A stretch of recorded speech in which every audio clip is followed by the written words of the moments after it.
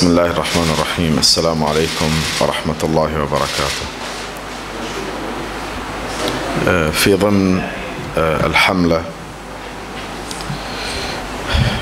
الوطنية الإنسانية المعنونة بخفافيش الظلام أعتقد أن من المناسب جدا أن أبدأ بربط بين ما قبل 14 فبراير وما بعد 16 مارس وفي أثناء وجود لجنة تقصي الحقائق وما بعد تقديم التقرير في 23 نوفمبر 2011 وبعد 20 مارس 2012 يوم أن قدمت اللجنة الوطنية تقريرها وإلى اليوم. صدقوني هذا لن يأخذ وقتا طويلا لأنني سأقوله بمفردات لا بإنشائيات وجمل لجنة تقصي الحقائق في فقرتها 1180 أعطت ختاما واضحا جليا يدل على أن المسألة لا تحتاج إلى أكثر من هذا التعقيد. ويشكل الإخفاق في إجراء تحقيق فعال في هذه الممارسات وذلك في باب أسلوب تنفيذ عمليات القبض. في من هذا التقرير؟ والفشل في اتخاذ التدابير الوقائية الملائمة لمنع الانتهاكات من جانب قوات الأمن. الفقرة الأخيرة. يشكل هذا أساسا لتحمل القيادات العليا للمسؤولية.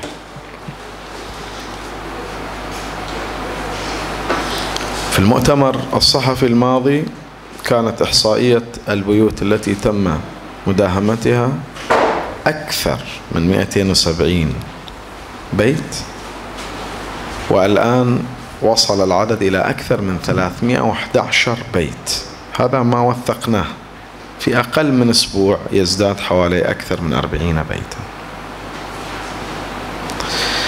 هذه الانتهاكات وصفها تقرير لجنة تقصي الحقائق بأنه مخالف للقانون الدولي والقانون المحلي وللدستور أيضا. يوم أمس قرأنا بأن معالي وزير الداخلية يوجه للتحقق في ادعاءات تجاوزات الشرطة. في حين أن هناك فرق بين ما دعا إليه الوزير من التحقق في الادعاءات وبين ما يجب أن يدعو إليه وهو التحقيق في الادعاءات وليس التحقق من أساسها. وكأن الوزير لا زال ليس مطمئنا بأن هذه الانتهاكات حصلت فيدعو للتحقق منها. أنا أدعوك يا معالي الوزير؟ أن تبادر بأمر إجراء التحقيق فيها. لأن هناك مرسوما ملكيا رقم 27 لعام 2012 صدر بشأن مكتب مستقل لأمين عام للتظلمات بوزارة الداخلية. وأعتقد أن وزارة الداخلية لم تقم بدورها الكافي لتطلع المجتمع على أن لهم الحق في أن يتقدموا بهذه الشكاوى إذا تعرضوا لانتهاكات. هذا المرسوم يضع معنى الشكوى ومعنى الفعل المؤثم المؤثم ومنتسبي قوات الأمن منتسبي قوات الأمن يقول جميع العاملين بقوات الأمن العام ايا كان موقع عملهم هنا تكمن مشكلة كبيرة وأعتقد أن وزارة الداخلية منتبهة لها ولكنها لا تجدي أو لا تجد لها حلا.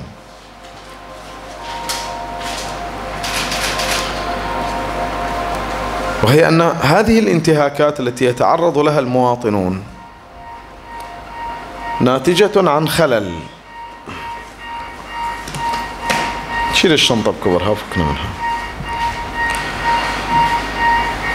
الخلل تنظيمي في واقع الأمر لأن هناك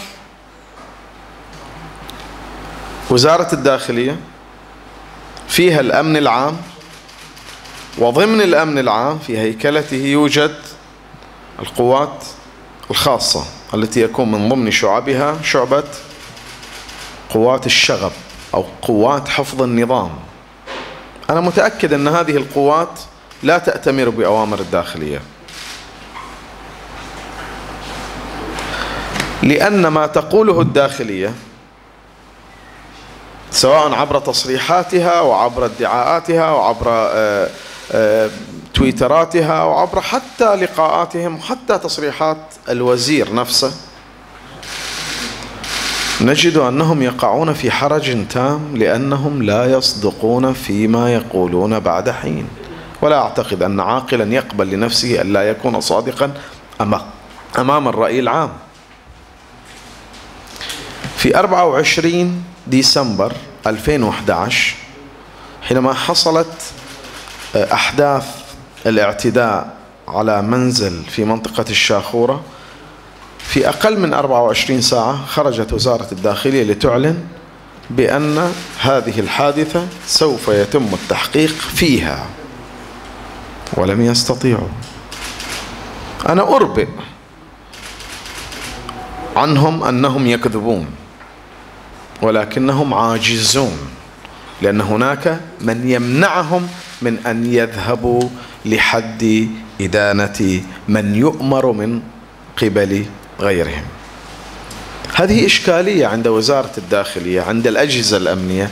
عند الأجهزة الأمنية سواء كانت الأمن العام وزارة الداخلية الجهاز الوطني الحرس الوطني قوة الدفاع الجيش جميعهم أعتقد لا يستطيعون أن يقوموا بدور متناسق ولا يستطيعوا أن يقوموا بدور آه، يعني يمكن أن يكون آه، آه، ذا نتاج واحد أو نتاج متناسق. هناك تركيبة أخلاقية. التركيبة الأخلاقية تتمثل في إصدار وزير الداخلية لقرار بإصدار مدونة سميت بمدونة سلوك رجال الأمن. وهذا القرار الذي صدر كشف في واقع الأمر عن أن هناك تجاوزات مخجلة تجاوزات ساقطة متخلفة لا يقبل بها جهاز الأمن. ولهذا صدرت هذه المدونة حتى تكون موجها لرجال الأمن الذين اتهموا بارتكاب انتهاكات. هناك عدم شفافية. لا توجد شفافية لدى وزارة الداخلية ولا لأجهزتها الإعلامية ولا لمكاتب تسجيل الشكاوى ولا للتعاطي مع المجتمع. نجدهم يبادرون لمواطن للإخبار عن مواطن تعرض في منطقة دار كوليب ربما اعتداء عرضي بين مواطن ومواطن ربما من جماعة وجماعة لا بأس. أخبروا عنه. ولكن ما أكثر الجرائم التي تقع على الأرض أحيانا يبادرون لنفيها وأحيانا يتجاهلونها تماما. هذه الشفافية وعدم الحيادية والانحياز للطرف الرسمي من قبل وزارة الداخلية يفقد ثقة المواطن بها يعني إلى درجة كبيرة. القصص التي تصلنا إلى درجة المهانة التي يتعرض لها المواطنون. أعتقد أن على وزير الداخلية وأعتقد أن أجهزته تخبره بهذا الكلام ذهبت أجهزتكم إلى أبعد حد مما يتخيله الإنسان. في تاريخ 27 أوقفوا أحد. مشايخنا أحد علمائنا وأهانوه بسبب تجرؤه على لبس العمامة. لماذا تلبس عمامتك بجرأة؟ وهذا حصل في سترة. البارحة حصل في الدراز. في سترة حصل للشيخ إبراهيم الستري والبارحة حصل إلى الشيخ محمد جواد الشهابي وطلبوا منه نزع عمامته. هذه أخلاق رجالك يا وزير الداخلية. إذا كانت هذه أخلاق رجالك فأنا أخبرك عن هذه الأخلاق. عليكم أن توقفوا هذه الأخلاق الوضيعة.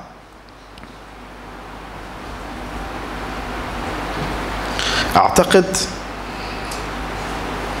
أن ما تعانيه أمهاتنا في البيوت وما يعانيه أبناؤنا ذكره تقرير لجنة تقصي الحقائق.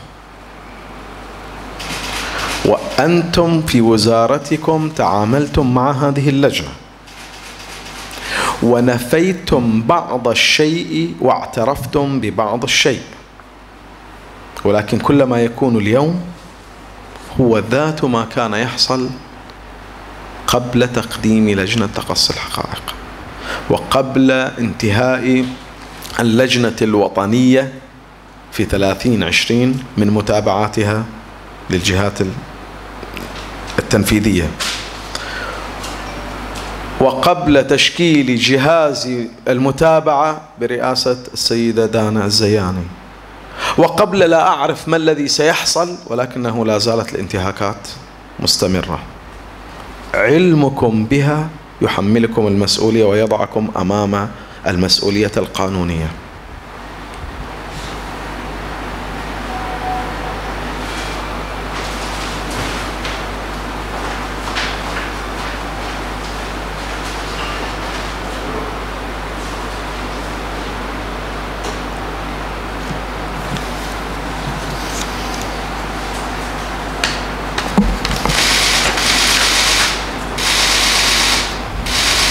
ويشير تواجد هذه الفقرة من لجنة تقصي الحقائق التي لا زالت بمصداقيتها إلى اليوم. ويشير تواجد نمط سلوكي منهجي إلى أن هذا هو أسلوب تدريب هذه القوات الأمنية. هذا ما استنتجته لجنة تقصي الحقائق. وأن هذه هي الطريقة التي من المفترض أن يعملوا بها هل يرضيكم هذا؟ ما لا يتناسب مع أخلاق العرب ولا مع أخلاق الإسلام ولا مع أخلاق الإنسان ولا مع أخلاق المعاهدات ولا مع ما أفاد به الدستور ولا حتى القانون الذي هو أقل درجة من كل ذلك ومن استنتج هذا الاستنتاج هو ليس صفويا أو مجوسيا أو مواطنا بحريني يعادي سلطته ويعارضها. من استنتج هذا هم خبراء حقوقيين لا علاقة لهم لا بالبحرين ولا بغيرها جاءوا برسم أمر ملكي حتى يقوموا بدورهم. وأن هذه الأحداث لم تكن لتحدث دون علم الرتب الأعلى في تسلسل القيادة داخل وزارة الداخلية وجهاز الأمن الوطني. هذا قبل صدور تقرير لجنة تقصي الحقائق. أما وعلمتم. لماذا كل هذه الانتهاكات؟ لن نترك أجهزة من أجهزة الدولة تمعن إيذاء وتعذيبا وتنكيلا وظلما وتمييزا إلا وسنفضحها على رؤوس الأشهاد. إذا كانت وزارة الداخلية أو الأجهزة الأمنية التي تعمل بضمنها تعتقد أن هذه السلوكيات ستؤثر على مسيرة المعارضة السياسية للسلطة الظالمة ولظلم السلطة فهي مخطئة تماما. أنتم بفعلكم هذا تزيدوننا إصرارا. إذا كانت هذه السلوكيات تعتقدون أنها ستجعلنا نتراجع هي ستزيد صلابتنا وستقوي موقفنا حتى أمام الراي العام الدولي. استمرار هذه السلطة هذه السلوكيات تجعل السلطة تدفع ثمنا غاليا لأنها لا زالت عاجزة عن دفع ثمن ما قامت به أيام السلامة الوطنية. فالفواتير لا زالت معطلة. ودليل ذلك أن التوصيات التي قدمت لكم لم تستطيعوا أن تحترموها أو تنفذوها أو تنقلبوا على سلوككم فتغيروا الواقع. هذه هي الفاتورة. الفاتورة أن تغيروا الواقع وتحترموا الإنسان وبذلك ستحترمون أنفسكم لأنه لن يكون هناك من آه يعني يلومكم يعاتبكم يدينكم. نحن يهمنا قيمة الإنسان لأننا في كل يوم في هذه الجمعية وفي الجمعيات الأخرى الحقوقية نسمع الناس يتقدمون بشكاواهم في السرقات في الاعتداءات في الشتم في التكسير في الإهانات في الملاحقات. وكما ذكرت لكم أصبحنا اليوم نسمع أن عالما يمشي بعمامته. يوقفه أناس مجهولون لا أعرف حجمهم ورخصهم. يجبرونه على فسخ عمامته أو نزع عمامته. ويهينوه في ذلك. أعتقد إذا كنت قد أقسمت يا وزير الداخلية على تحمل الأمانة بإخلاص وصدق عليك أن تنقل هذا إلى الملك حتى تتوقف هذه السلوكيات الرخيصة.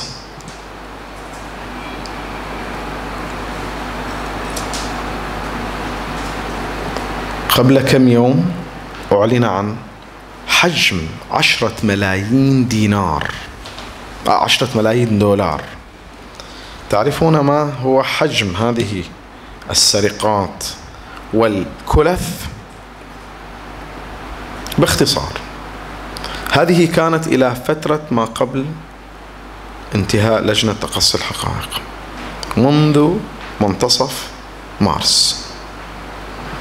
شملت مبالغ مالية سرقت من البيوت في وقت المداهمات من الأمن والجيش وكل القوات التي كانت تساندها. وسرقت من المواطنين وهم في الطرقات. وسرقت من أي موقع لأي ملك خاص. جاءنا المواطنون ليقولوا قد سرق منا هذا وذاك. ووزارة الداخلية اعترفت بوجود سرقات قام بها منتسبوها وذلك في أثناء تحقيق لجنة تقصي الحقائق معهم حينما قالوا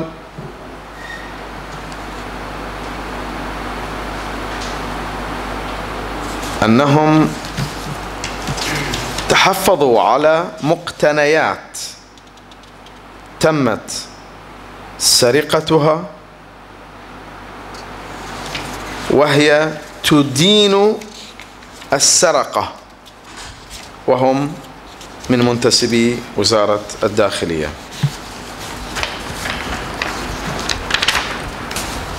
سآتي إلى الفقرة.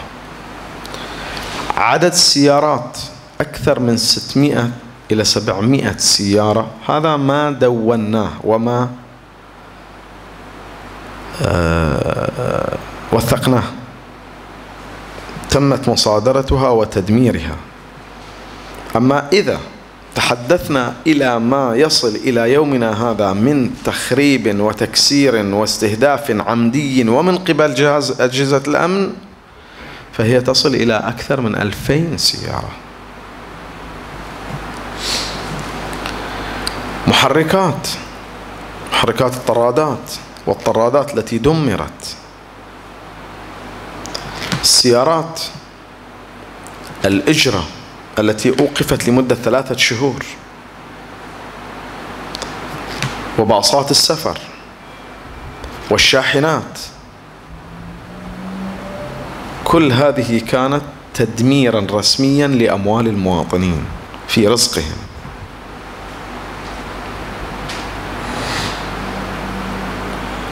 أما تكسير الأثاث وتكسير الأبواب والنوافذ ومحاولة تخريب الديكورات فكانت مكلفة وباهظة جدا. لأنكم تعلمون أن رجالكم كانوا يسألوا المواطن كم يستلم كم كان راتبك. وكلما ارتفع الراتب كلما زاد الانتقام. وكأنه يطر هذا.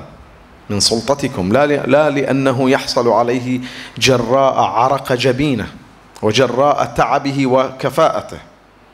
هكذا كان رجال أمنكم الذين سلبوا الأمن.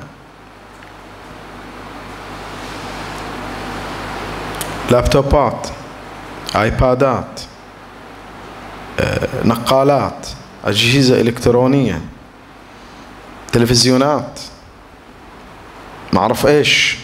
كلها هذه من ضمن التي تم تسجيلها وتوثيقها. الذهب الذهب ذهب. مجوهرات والذهب كانوا يسرقونها.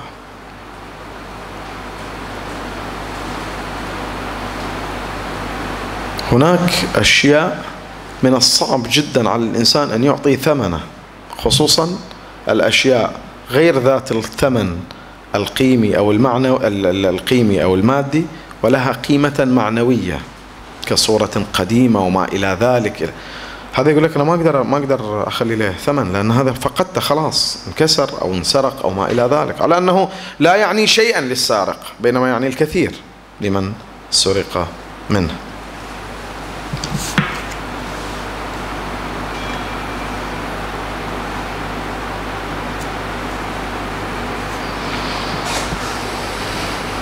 هل ممكن إعادة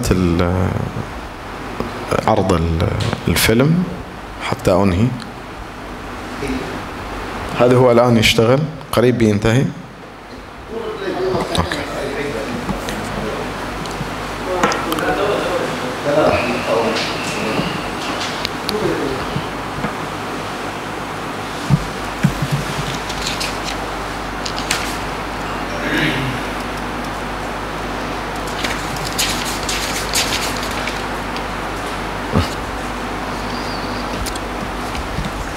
اعتراف وزارة الداخلية بحالات السرقة. حينما تقول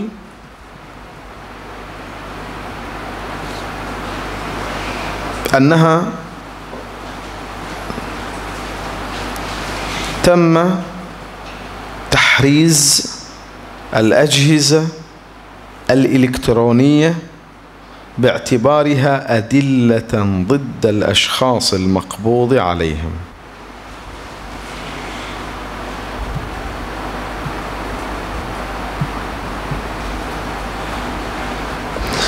إذا أقرأ المادة أو إذا أقرأ الفقرة كاملة تلقت اللجنة ستة عشر شكوى تفيد بأن أفرادا من قوات الأمن قاموا بنهب ممتلكات من داخل المنازل.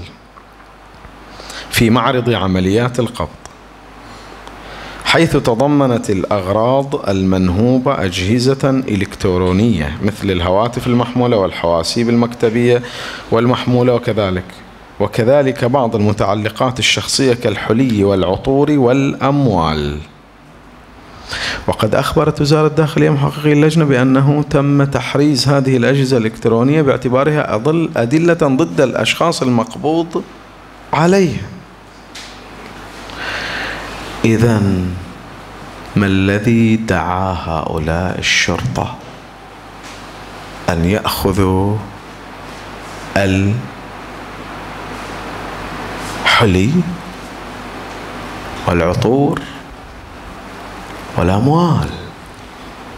إذا كان الجهاز الإلكتروني يدل على تهمة ضد من قبض عليه هل القلادة تدل على أنه عنده عمل إرهابيا أو عند زوجته اتصالا مع منظمة إرهابية لأنهم سرقة.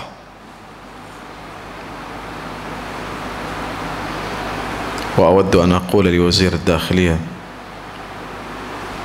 أنني في تقرير لجنة تقصي الحقائق رأيت أن وزارتكم وهي وزارة كذبت. فأرجو ألا تعتبروا أن شعب البحرين كله كاذبا. فخر لكم أن يكون هذا الشعب صادقا حتى وإن كشف سوءاتكم. شكرا.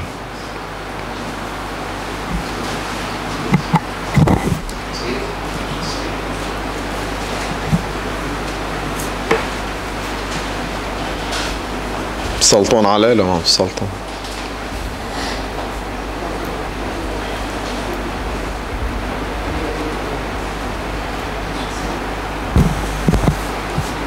شافت لنا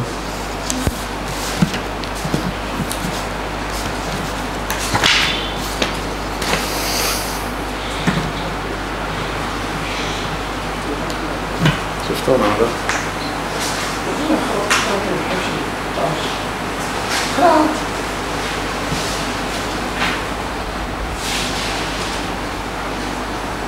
كم يطول؟ صور يصور يصور صور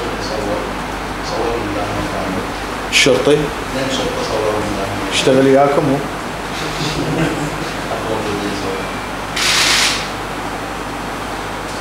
طالع. طالع الخنبور.